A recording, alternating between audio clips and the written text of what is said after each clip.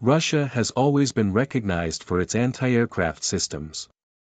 With short, medium and long-range defenses, the Russians have become a reference in denying the use of airspace with missile systems that represent a type of solution known as hard kill, that is, one that effectively aims to destroy the enemy.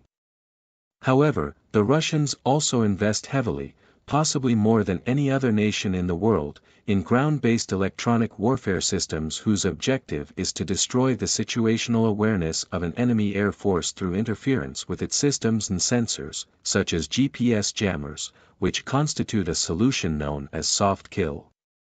All modern weapon systems rely, at least in part, on satellite navigation systems such as GPS, Galileo OU GLONASS. They are fundamental to allowing platforms, such as combat aircraft, to navigate precisely and find their targets, especially when operating deep in enemy territory. Without satellite navigation capability, many attack missions become infeasible due to the low chance of success and high risk.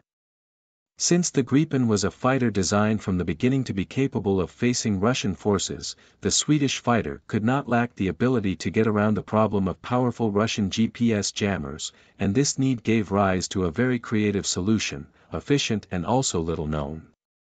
Saab has developed an anti-jammer solution for the Gripen that is made up of two main subsystems that act in an integrated manner.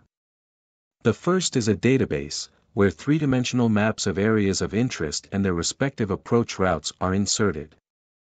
If the Gripen receives, for example, the mission to attack a land target of high strategic value from an enemy nation, a three-dimensional map of this point and the approach route is developed and inserted into its memory.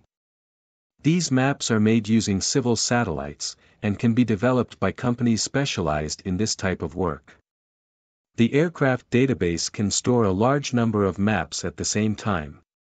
The second subsystem is a high-definition camera, which is installed in the lower part of the Gripen fuselage. This system works by integrating the images obtained by the camera with the data entered into the database. In this way, once the Gripen enters an area where the use of GPS is denied, the auxiliary navigation system comes into operation and starts to compare the ground images obtained by the high-definition camera with the three-dimensional map of that respective area inserted in your memory.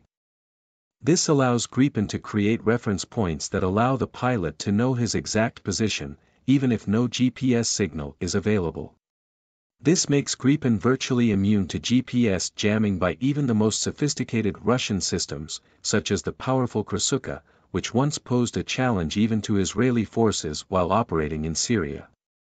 This highlights once again the great focus that Gripen has received in the area of electronic warfare. Not only was it developed to have a great ability to interfere with enemy sensors, but it was also designed to resist interference from its adversaries' electronic warfare systems. And you, did you already know that Gripen had this ability?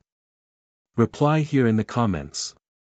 Thank you for watching the video, don't forget to like and subscribe to the channel and see you next time.